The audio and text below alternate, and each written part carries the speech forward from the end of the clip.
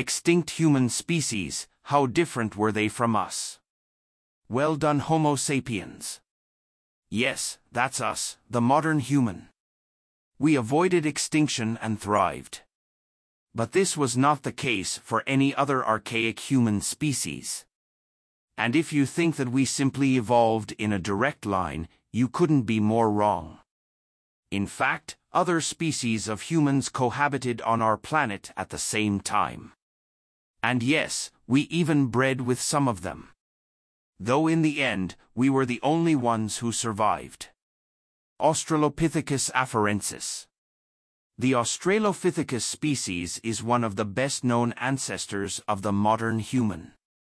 The Australopithecus afarensis, in particular, is well known for a skeleton discovered in 1974, which was nicknamed Lucy, depicted.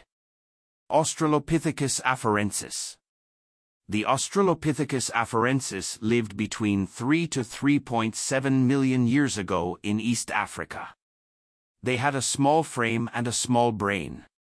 Their height ranged from between 3.2 feet 96 centimeters to 5.5 feet 165 centimeters and they weighed between 55 to 141 pounds 25 to 64 kilograms.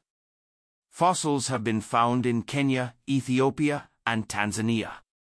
Australopithecus afarensis ate mostly a vegetarian diet. Homo habilis the Homo habilis is the first early human species with the genus Homo.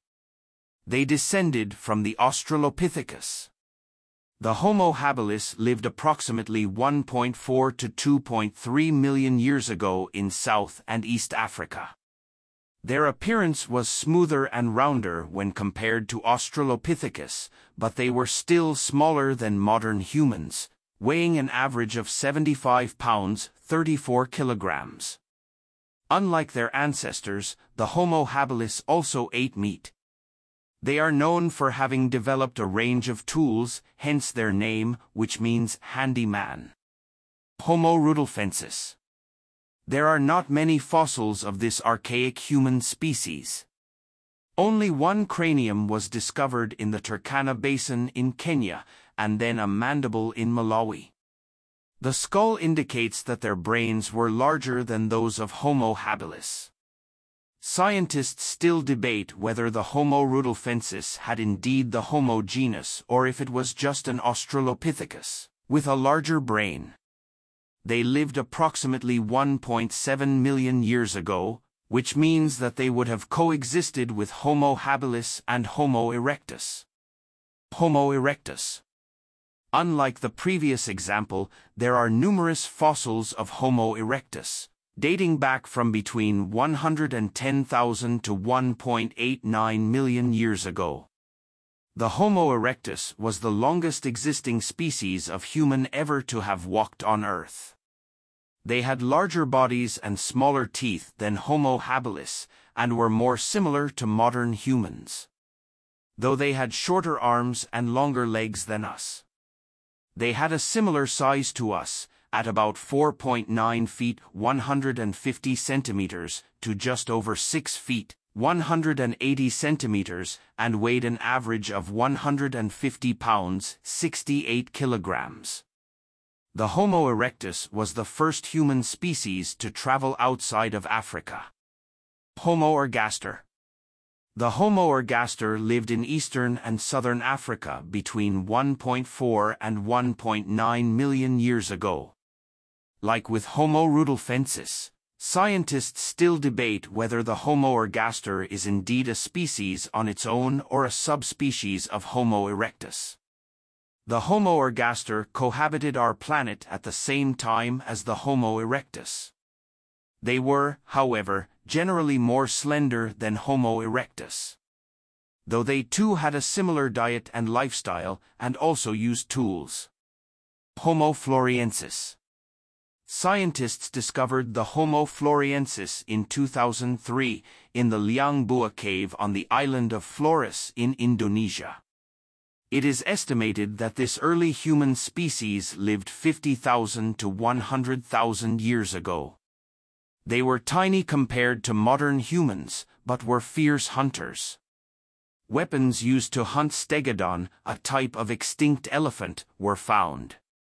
Scientists believe the species descended from Homo erectus and adapted to island life by developing into dwarfs. Homo heidelbergensis The Homo heidelbergensis lived between 200,000 to 600,000 years ago in various regions.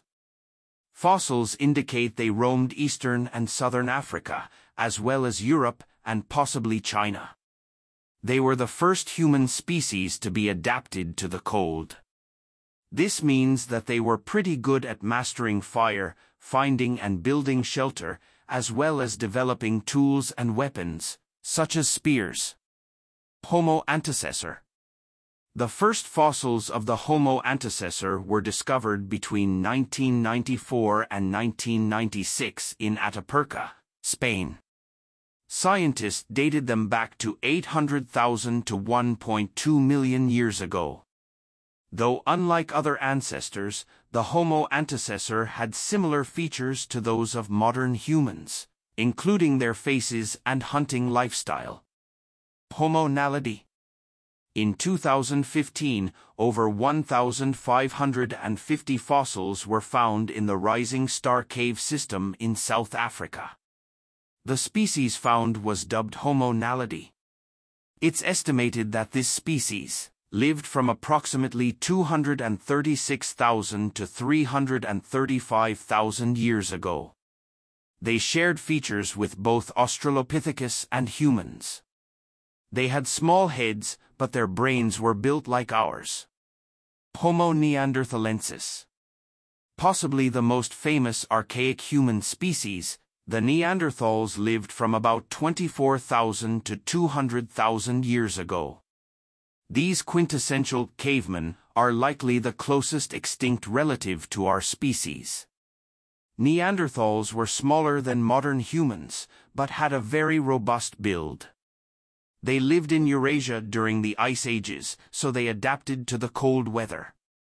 Neanderthals developed advanced weapons and tools, made clothes, and built shelter. They also had larger brains and were more intelligent than other species.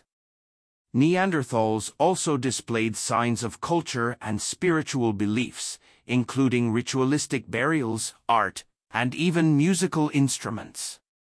Neanderthals might have gone extinct, but they interbred with modern non-African humans, so their genomes are still present among us. Denisovans Remains of this species of human were found in a cave in Siberia in 2010. It's estimated that they lived about 400,000 years ago.